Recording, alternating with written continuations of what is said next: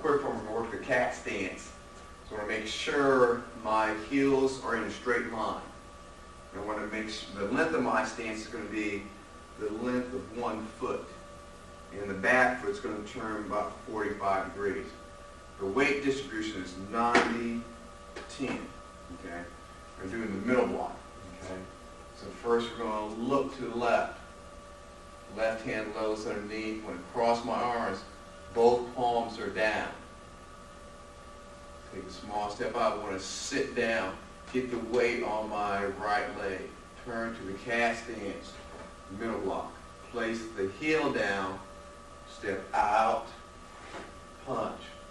Over the right shoulder. Right hand underneath, both palms are down. Slide through and get the weight on my left leg.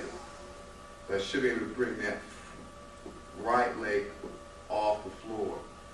Turn, block, heel down, step out, punch. Going down the middle, arm that's out underneath. Slide a little cross out front, get the weight on the right leg. Turn, block, heel down, step out, punch, kick off the back leg. Got to come right down the middle, two punches, kick off the back leg. Come down, two punches, look right, look left, left hand, hand this on the hip, lows underneath, slide through, get the weight on the right leg, turn, block, heel down, step out, punch.